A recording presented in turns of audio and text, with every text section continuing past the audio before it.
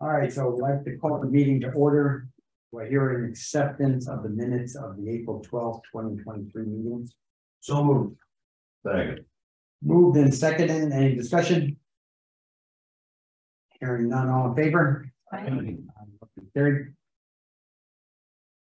Okay, we have communication, the monthly operating report for April twenty twenty-three. Yeah, let me just share the screen.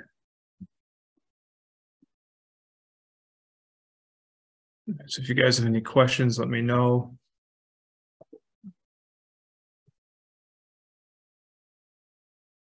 So is the nitrogen about running the same? Is that twenty pounds under? Is that what we had seen? I think we were eighteen pounds last month. We're about twenty this month. Um, which is good because if you look at the flows, we were averaging about four million and we had a max of five point eight. So one of the storms we had was Sunday night into Monday, and of course, we sampled for nitrogen Monday. So we actually did well considering the flow was up. Um, we only used micro C one of the weeks in April, which is basically it's it's like a sugar water, it's like a glycerin. So we add that to just give it more BOD coming in when it's diluted from rain. Um, the other three weeks, we basically had the numbers just based on the fermentation tank. Um, so average three point eight million a day. Removal efficiencies for BOD and TSS were both over ninety-eight percent. Uh, nitrogen removal, which was twenty pounds under the permit. And we're now in phosphorus season and UV season. The E. coli geomean was two point four six. Um, which is under five, almost non-detect. Any questions on that? So that is phosphorus. Have we been doing that well right along? Yeah, well, phosphorus is the sixty-five point five six pounds Yeah. on the effluent. Um, and that's so far no chemical. Um, typically we have the polyaluminum chloride if we need to use it, but we haven't had to yet. Um, the good thing with the fermentation tank is since we have more VFAs and BOD going in the aeration tank, you can kind of get better biological phos removal too. So it's kind of balancing your D night and your biological phos. Any other question on operating report? No, so even with that two weeks of rain, Mark, the. the- Yeah. You didn't have any uh issues. No, the, so obviously it's the monthly average, so the one week, our limit's hundred seventy-eight pounds, I think the week. The day we sampled, we were doing like eight point nine million, so even if our nitrate was. One, we probably still wouldn't have made it for that week, but the other averages were like 160, 120, and seventy pounds, so we were still under, so didn't really affect us, if we had a whole month at eight. That might be, might push us over, but. Yeah. That would take a lot. Okay, then we've got the engineer report dated April twenty twenty-three. So sewer pump station construction repairs, uh, Maple Ridge, we serviced the generator, we rebuilt the carburetor, changed oil and flushed the gas tank. Uh, that's just a small portable generator that we keep there. Tunxis pump station, we had a pump fail there. We've had a ton of pump fails there. Um, we even cleaned the wet wall out, so there's not much debris in it. Um, we ended up putting like a small gasket on the wear ring in the impeller, so it opens up the gap so it can pass some solids, so it should help with that, so we don't have to pull them all week. West Farms Pump Station, we met McVac, uh, we cleaned the wet well, all the rags and grit were sucked out. This is done quarterly. And we reset a generator alarm. We're trying to troubleshoot where it's coming from. We think it's something with the harmonic frequency when the generator turns on and it's basically tripping the VFD in the panel. Snowberry Pump Station, we pulled pump two. Uh, we found rags and debris in the pump and it was put back in without any further issues. In the month of April, we jetted Bridgehampton, Elm Street, Maple Avenue, Perry Street, and School Street. We also vacked and cleaned three manholes on Bridgehampton. Um, I think they're still hitting them up there in construction and they're shifting. So we, we're going up there and cleaning them out because we've had a lot of process and gravel come down the line into our uh, system. Uh, we continued assisting highway and cleaning and backing the storm drains on Whispering Road and Silversmith.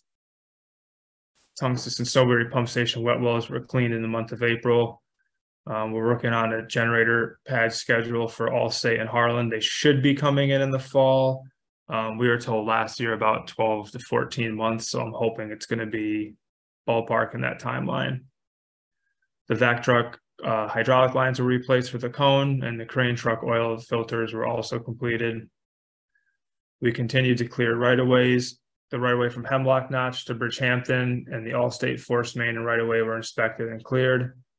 And we cleaned out storm drains and used a sewer camera. Uh, we inspected a sinkhole on Whispering Rod Road for highway. Repairs and maintenance at the plant. Was, Go ahead. sorry, Mark, was there, so there was a sinkhole or you were investigating the possibility? Yeah, so Jim called me from Highway. He said, because they're paving Silversmith, Whispering Rod, the whole area up there by Westwoods. Um. And they, so they were doing the storm drains and we're doing the manholes. He said they had a sinkhole over one of the lines for the storm drains, so we cameraed the whole line and there was nothing. So it looked like probably maybe like a foot, fifteen inches deep from the top, but the pipe's down probably four or five feet. So it could have just been something small. Uh, We began testing a new polymer for the dewatering process. It should result in higher percentage solids while decreasing total polymer usage. So if you look at like the biosolids on the actual summary report, we were twenty point five percent, which typically, I mean, we're eighteen to twenty. Um, but we've been trying to use the new polymer to see what we can get. We've had it up to twenty-five percent it's kind of diminishing returns at that point, but if we can average twenty-one or twenty-two percent, it's probably gonna help us with volume over the course of the year. Just rotate this one more time. Uh, we put in the new Borger dewatering pump for the second dewatering press. If you guys remember, we had put the first one in last year. So now each press has increased gallons per minute and we're still maintaining all the spec loading rates that we started up with. Uh, we completed all the lawnmower services for the spring, oil changes, filters and belt replacements. The oil was changed in final clarifier number one. We also put new oil seals on number two and three. Uh, we installed a new auger wiper on the screenings auger. Uh, we basically, after we had the failure, I think it was two years ago, we had to pull the whole auger out and fix everything. We've kind of been preventative. Doing this every couple of weeks, um, months, I'm sorry. So if you see here, this is kind of the wipers, like a, um. Almost like a, like a brush. So this basically takes any rags and pushes it into the cleaning unit. So something came in the plant, we don't know what it was because it wasn't in there, but it completely like. Demolished the whole wiper and the metal. So there's set screws in here. And you can see like a set screw here and it pulled out all the metal. So what you see in the second picture would literally be this top part here and it wraps around the whole auger. So we ended up replacing it, cleaning it and knock on wood, we should be good for another year or so. We're just not sure what came through it. Did you mention earlier, like you, like some of the road work was resulting in gravel? Yep. Could it be something like? that? I mean, it could, um, before, I should have taken a picture of the whole unit. Before it, there's a, basically, it's like a compactor. It's a, it's a big motor that just crushes anything that comes in. Hmm. It should have broken it apart, but to say like it couldn't have gotten through, I mean, it could have. So the things with these units are, they, they compact everything, and they spray and they clean it. So it's great because it's clean when it comes out, but the more you compact it, the more pressure you have. So it could have been that too. We're, we're not sure. Um, but it's the first time that's actually happened. So we had a new uh, wiper, we put it back on. Uh, we had a new flush valves for the primary sampler lines and exercise the final effluent pumps as part of quarterly maintenance. And that is it for the report. Uh, refresh my memory here. I, I see we got the Avon flow meter. Yep. Is that an annual thing or when? Yeah, so it's annual through our inflow and effluent flow meters here at the plant. We have to do by July thirty-first every year. So we do those, and then usually when I do those, I schedule Avon as well. So Avon, we just do for billing purposes, because we bill them obviously financially, so we calibrate the meter, so both towns are present, we go through, it, and then there's no discrepancy in what the flow actually is. Then Now, uh, then you arm wrestle for the final number. This is true, yeah. is it Burlington where we have the other flow meter? Yeah, so Burlington, we put in some portable flow meters again this spring, just to compare from last year too. Um, and then West Hartford, we met with last week too, because some of the flow from Tunxis Road goes to West Hartford. So they had put in flow meters, so we're putting in ours as well as a monitor, just to see if they match. So it's kind of like three towns really. But we're on West Hartford system. What was that? Sorry. We're in West Hartford system. Um, you know, versus- yeah, so Tunxis Road. The top of there and a couple of the streets go into. The West, the MDC system for West Hartford, so I'm not sure where those meters are located for them, but we're putting them in probably in the next month or two. Just to see if our data matches. Um. And we'll see, because what they were basically finding was in high flow events, they were saying we had some infiltration, which is probably true. Um, I know Tunxis, there's two streams that go right on the side of the road there, so I wouldn't be surprised if we're getting some infiltration from there. Mhm. So is any of that stuff adjacent to Wood Pond too? I'd. Mm, I'd have to look on the map, to be honest. I'll check for next meeting. Uh, we know that the MDC rates are, Yeah, it's all that high, middle road and all that area there. Yeah, and once, once we're complete, I'll touch on some of that too. Okay, so that's it. Um,